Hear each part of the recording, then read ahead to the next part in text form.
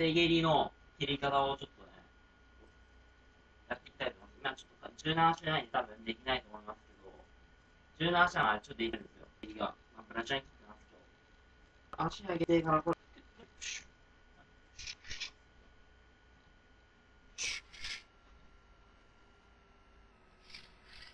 はい。かなり高い。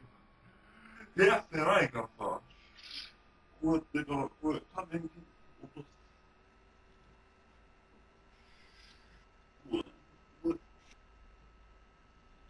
こう